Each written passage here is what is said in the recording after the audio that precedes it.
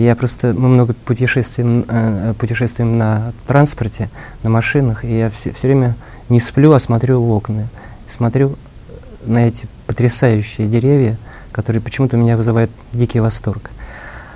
Э, но если говорить о деревьях, то, наверное, не сказать ничего, да? Люди потрясающие. Э, как-то в столице не так замечаешь э, вот это вот общение э, человеческое, чем, чем здесь. Тем более, что мы приезжаем сюда не просто посмотреть и показать себя, но и пообщаться э, с, э, с э, шахтерами, жителями Кузбасса. У меня такое впечатление, что ваш э, регион очень передовой регион а, в помощи людям, в каких-то фантастических встречах э, трудящихся э, с культурной э, элитой, со спортивной, а, какие-то интересные мероприятия. И больше всего, что меня потрясает, это помощь молодым специалистам а, вот ваши беспроцентные кредиты на э, жилье. Я такого не видела нигде в мире, тем более у нас. И я вижу горящие глаза детей. Вот мы уже а, в трех школах были, проводили уроки физкультуры. А, абсолютно другие дети, они какие-то открытые, они какие-то а, более добрые, мне, мне так показалось, по сравнению с другими регионами. И ну, в общем, вот восторженные какие-то ощущения, восторженные, а, не просто основанные на каких-то сумасшедших эмоциях, а подкрепленные. Вот мы, мы объездили очень много школ, а, детей видели, работников, ну, в общем, просто здорово. Я путешествую очень много по стране, я не знаю другого региона, где а, проводятся вот такие акции, причем не единичные случаи, единично, я думаю, что они проводятся. Но постоянно на какой-то основе проводится что-то. А, я знаю, что, например, в, э, в вашей области а, очень сильна поддержка молодежи, именно учащимся. То есть э, сам находился, присутствовал на концерте, когда вручались э, тоже денежные призы для тех э, молодых, кто достойно выступал, например, на математических олимпиадах и так далее. То есть идет поддержка, и самое главное, что это целая система вот таких акций, и это не может не радовать. Поэтому, когда говорят Кузбасс территория добра, то действительно, э, действительно это есть.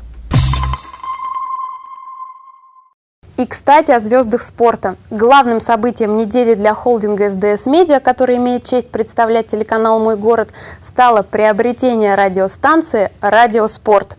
Это означает, что в скором времени окрестности города Кемерово в информационном плане будет составлять вся Россия.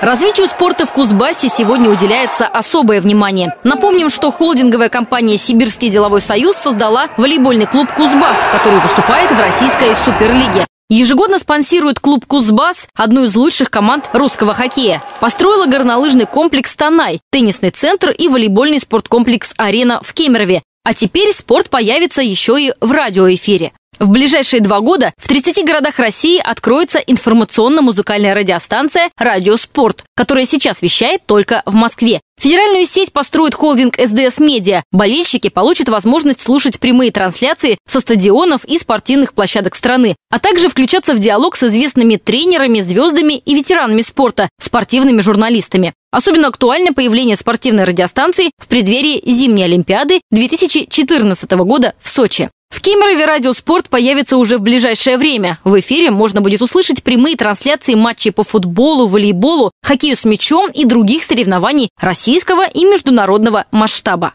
Следующий наш сюжет также про критерии добра и зла и территории, подверженные их влиянием. Проще говоря, про то, кому живется весело, вольготно на Руси. Институт территориального планирования «Урбаника» совместно с Союзом архитекторов и риэлторскими компаниями составили рейтинг качества жизни в крупнейших городах России. Целью их была оценка эффективности городской политики развития с позиции обычного городского жителя. Главный критерий оценки – соотношение качества и стоимости жизни. В частности, учитывались стоимость потребительской корзины, средний заработок горожан, обеспеченность жильем, пробки на дорогах, уровень преступности, природные условия и экология. Результаты получились неожиданные. Прежде всего бросается в глаза, что среди пятерки лидеров три города-нефтяников – Сургут, Тюмень и Нижневартовск. Культурными столицами их назвать нельзя. Климат там тоже не ахти, так что дело похоже в высоких заработках нефтяников. Столицы, Питер и Москва, остаются привлекательными, несмотря на ужасные транспортные проблемы. Кемерово в этом рейтинге занимает вполне достойное 30 место. По крайней мере, из сибирских городов его опережают преимущественно миллионники – Новосибирск, Красноярск и Омск. А насколько там жизнь комфортнее – это еще вопрос. Другие соседи-сибиряки, включая Прокопьевск, 57 место, и Новокузнецк, 61 далеко позади. Если бы уехать, то э, желательно э, в э, европейскую часть страны, маленький э, городок с э, каким-то богатым историческим прошлым. То есть, чтобы население этого города гордилось своим городом не, за, не только за нынешние заслуги, но и прошлые какие-то вещи. В Краснодаре. Потому что там тепло и там море. Ой, вы знаете, э, вообще я бы не хотела никуда уезжать из Кемера по той простой причине, что я здесь родилась, и мне очень город нравится, тем более за ближайшее, я вижу за Кемеровым будущее, да, то есть как бы, но э, хочется сказать, что если бы здесь было немножечко тепла побольше, да, то, наверное, можно было остаться. А если смотреть, э, действительно, если бы мне предложили куда-то поехать, да, то есть вот так, как вы задали вопрос, я бы, наверное, поехала туда, где тепло. Недавно некий новосибирский ученый высчитал, что Кемерово, Омску, Новосибирску и Барнаулу нужно подвинуться еще поближе к Москве. Чтобы сибирякам жить в правильном астрономическом времени, разница с Москвой должна составлять всего два часа. У кемеровчан это предложение вызвало оторопь. Вообще, ну вот ужасно. Это, ну, ладно я, да, а дети убрали этот переход э, времени, и я гораздо себя лучше чувствую. Очень тяжело на умственные способности уже влияет. Наша заключительная история тоже о городах и времени. В середине XIX века граф Петр Клеймихель, министр путей сообщения, объезжал с инспекцией разные города и в каждом городе назначал час для представления своих подчиненных. Время он отчитывал по своим часам и был возмущен, когда в Москве чиновники не собрались вовремя.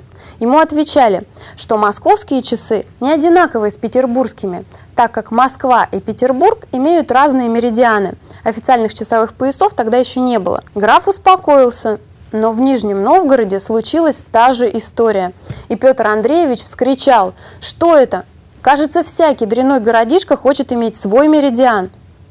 Ну, положим, Москва – первопрестольная столица, а то и у Нижнего меридиан – все-таки город Кемерово – лучший город Земли, невзирая на рейтинги и меридианы, по крайней мере, пока в нем живем мы.